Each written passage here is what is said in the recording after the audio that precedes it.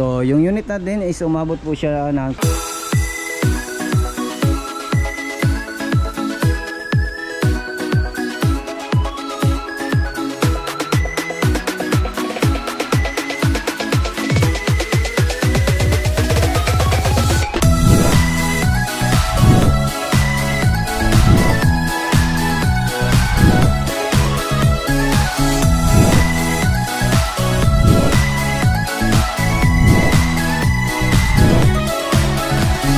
Kol, welcome back sa ating YouTube channel Sorpas TV. Sa bago lang sa ating channel, huwag niyo kalimut like and subscribe. Then click na rin ang notification bell para laging updated sa ating mga susunod na video uploads kayo ito.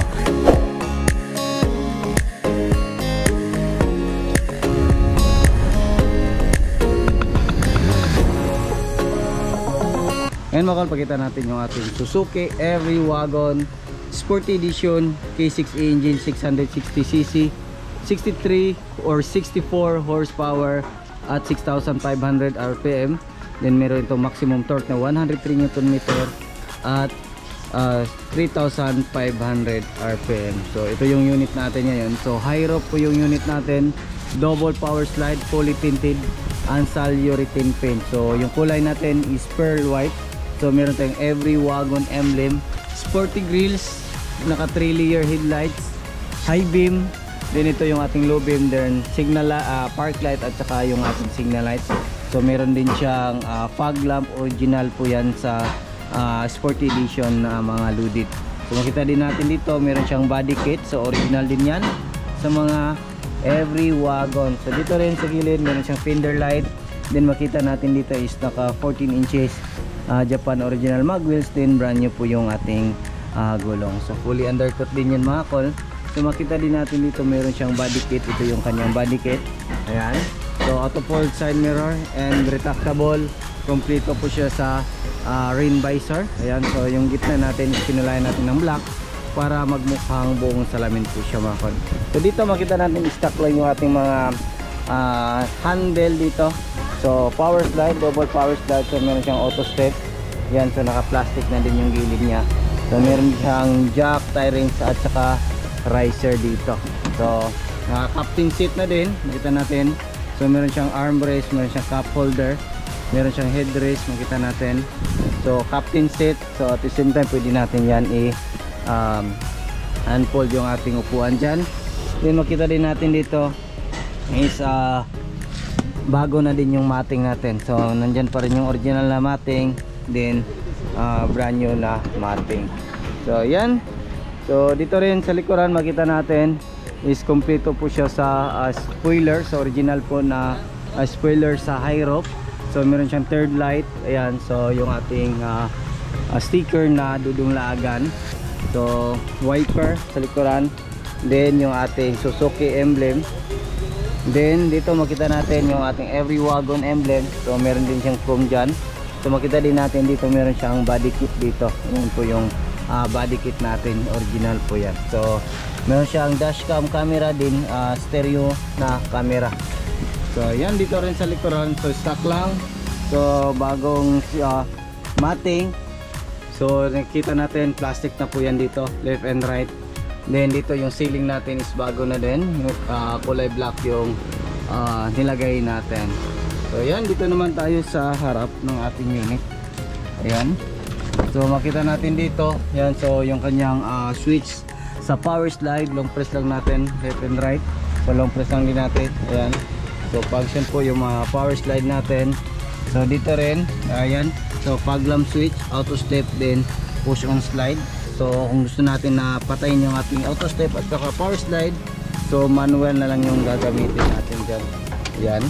So pwede natin yan i-manual so hindi na po as power slide wala na din yung auto step kung gusto natin pwede din natin to manual sliding then palabasin natin yung auto step so dito rin so turn on natin yung susi. So check natin yung uh, kanyang mga window. Ayan functional po yan lahat.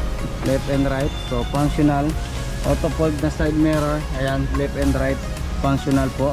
So adjust the mirror. So try natin. Left and right. Ayan. So functional sa kabila Ayan, functional. Basta tutunog na po yan mga call. Ibig sabihin is naka full adjust na po yan. So meron din siyang uh, lagayan dito. Meron siyang sun visor left and right, center mirror. Sa center mirror mga kol, nilagyan natin ng dashcam po yan. So based sa request ng ating ah, customer. So yan, dito yung dashboard natin is back to original yung ah, kulay natin. Steering wheel natin is original. Then makita natin dito yung hazard switch natin. Overdrive switch, ayan, functional. So, aircon switch, ito yung aircon switch natin. Then ito, so start natin. So, naka-under na yung makina natin. So, yung headlight natin is nandito. Ayan. So, park light, headlight, high beam, ah, high beam, then low beam. Then overdrive, patayin natin. Dito sa kabila is yung ah, wiper natin. So, yung washer natin, ayan. So, functional po yan ah, lahat. So, dito naman sa rear, ayan. So, wiper sa likuran, then yung spray natin sa likuran. So, functional yan lahat. So, dito naman sa harap na puwad, meron siyang headrest. Ayan, so VIP concept with logo ng Suzuki. So, meron siyang armrest dito, meron din siyang cup holder dito sa ah, gitna. So, makita din natin dito, brand new yung mating natin. Ah, ito yung accelerator pedal natin, brake pedal din yung ating parking brake pedal.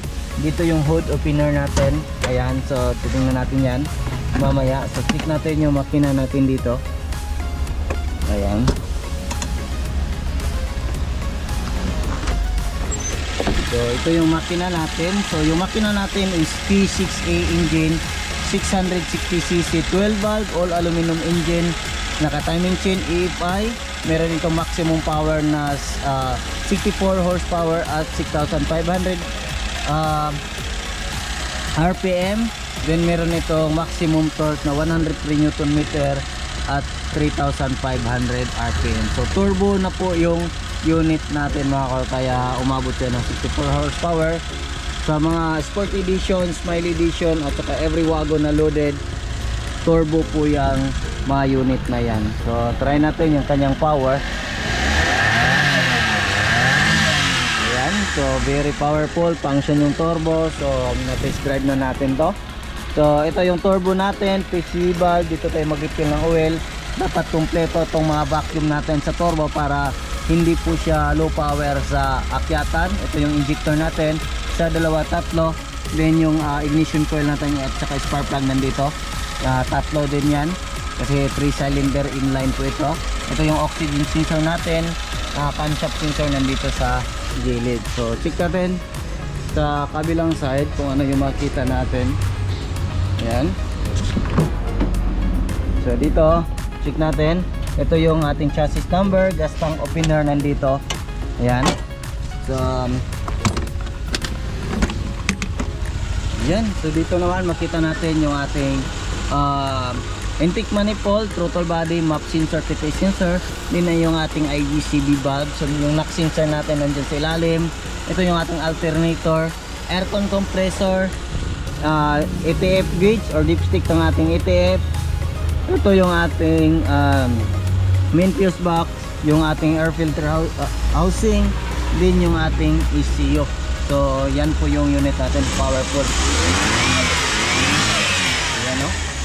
so tested na to na test drive na namin to na check na namin yung kanyang ah, kanyang power sa akyatan ayan so dito yung ating windshield washer reservoir yung ating radiator cap coolant reservoir din yung ating brake fluid. So yung cool ah, ilalagay talaga natin dito sa coolant reservoir mga kol is ah, coolant po para mas maganda yung cooling system natin. Ah, hindi po siya basta-basta magbara yung ating um, radiator hindi mag, basta-basta magbara yung ating cooling system ng ating ah, makina. So yung unit natin is umabot po siya ng 297 all in na po yan mga kol kayo yung mamili ng kulay. Mid to order sport edition double power slide 4x2 so 4 speed automatic transmission po ito mga kol so yan lang muna yung aming vlog for today. Maraming salamat po sa iyong patuloy na pagsubaybay. Sa bago lang sa ating channel don't forget to like share and subscribe. Then click na niyo ating notification bell para update kayo sa mga next video uploads kayo. Ingat po mga call and bye bye God bless po sa ating lahat